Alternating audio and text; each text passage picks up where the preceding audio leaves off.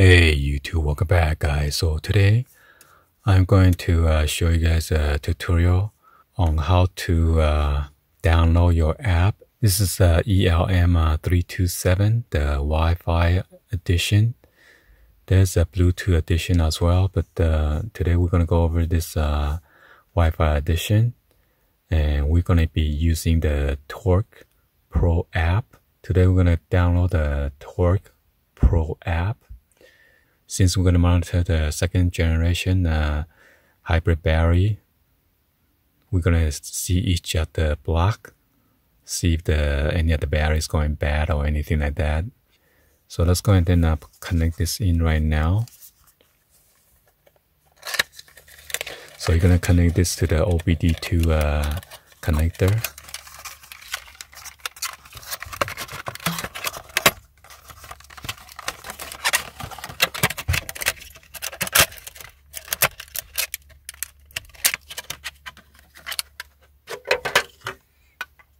Okay. So you need to locate your OBD2 for the Toyota second uh, generation. It is uh, under the dash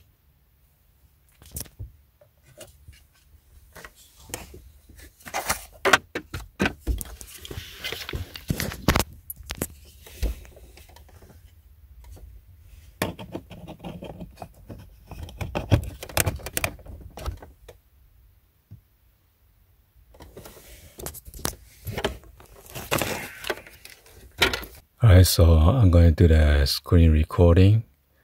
You're going to go to your uh, Google Play Store.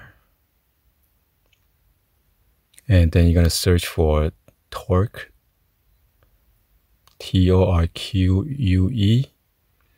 So this is a Lite edition, but unfortunately, the Lite edition does not allow you to monitor your uh, hybrid battery. So you will need to go download the Torque Pro right there and that is uh, $4.95 since I download mine already I'm gonna click on uh, open.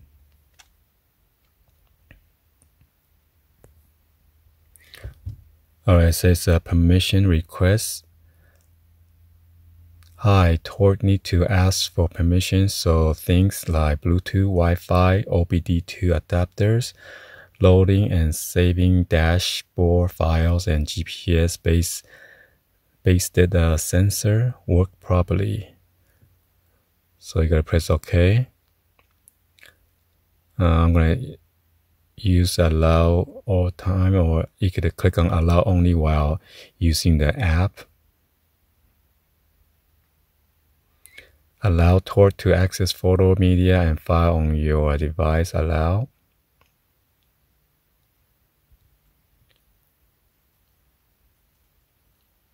So it says uh, profile not set up. So if you want, you can set it up. But uh, let me uh, press the ACC on real quick. And you're going to go to uh, setting, click on the setting gear icon right there. You're going to click on setting. And then you go to uh, OBD, OBD2 adapter setting, uh, connection type this is a Wi-Fi, so you gotta go to click on Wi-Fi. And now you gotta go to your uh, setting on your phone.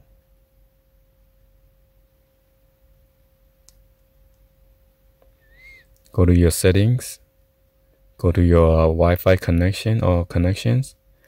And make sure you're not connecting to your home Wi-Fi. You will need to uh, connect it to the Wi-Fi OBD2, okay? And click on it.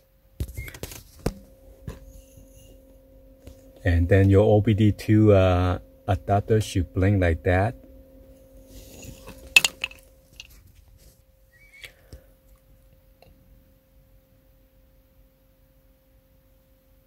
So just allow it to sync.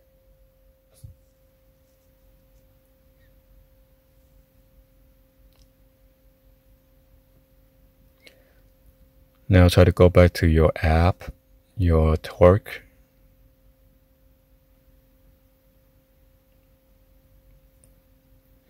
Let me see if I saw the car. What's going to happen now.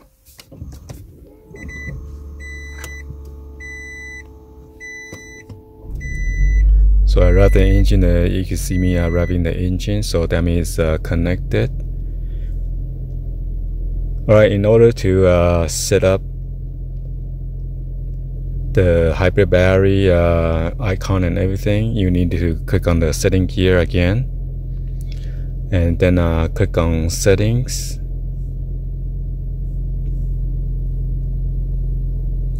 And then we're gonna click on manage extra PID uh, sensor which is right here. And then on the upper right hand side you see the three dot click on that and then we're gonna add the predefined set and we're gonna click on the Prius second generation. If you have a Prius uh, third generation, then you will click on that. Or if you have the Prius, or you have the Prius PHV, then click on that. So this is the second generation. And then uh, now we're going to choose. Normally, when I look for the hybrid battery, the block one through uh, 14. So we're going to scroll down so many things that you can add though. So, so for example, this is the hybrid uh, HV battery pack uh, block one right here. So you can edit or delete or whatever that you want, but uh, since we stick this already, we're gonna go back to the uh, main screen. Okay. Real time information.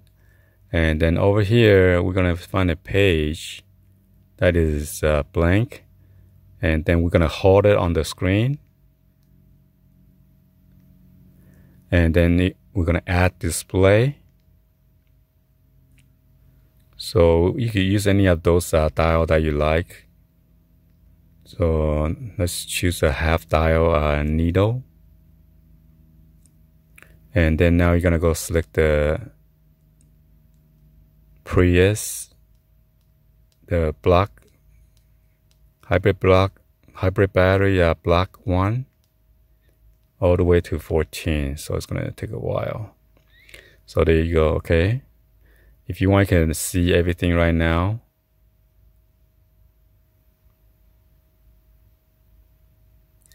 And then we click on tiny or small or medium whatever size that you want to choose. I'm going to choose tiny and then gonna move it to my upper left hand corner right there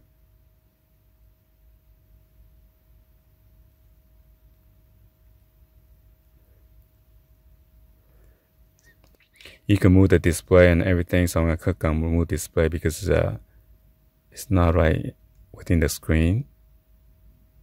So let's go ahead and add a second one. And then add display again. Gonna do the half dial needle. And then I'm gonna scroll all the way down to add the block number two. And then gonna move it right next to there. Okay? And now we're gonna do that for the rest of them. If you want to add you could also add like an auxiliary uh, battery so you know your auxiliary battery is good or not.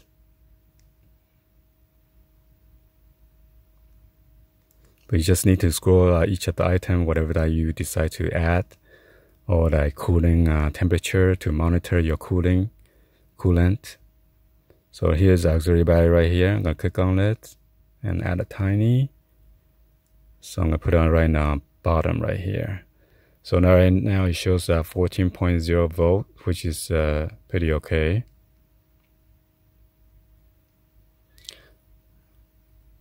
Let's go ahead and click press and hold, add a display.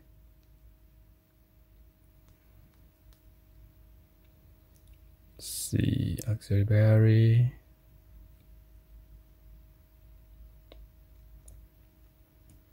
You can see the converter uh, temperature right now is at 82.4.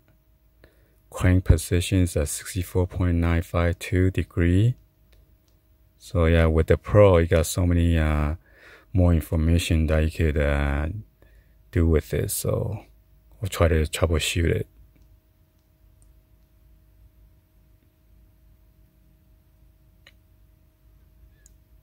So there's a HV battery air intake temperature too.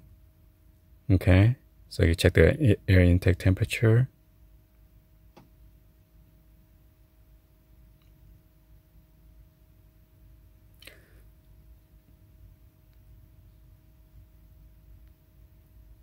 So it shows a hybrid ba HV battery block count 14 numbers. So that's why I told you 28 divided by 2. So you got 14.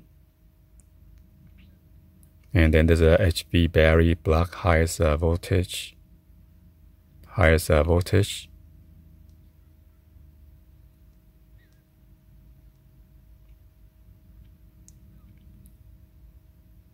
And then there's a HV battery uh, charge by kilowatts.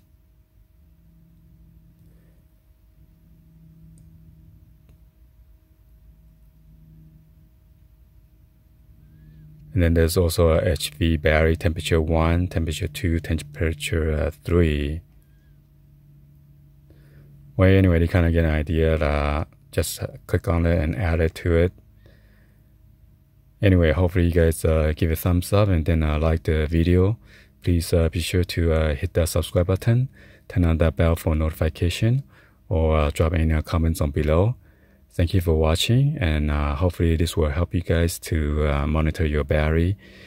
And I'll see you guys on the next video, like always. Peace.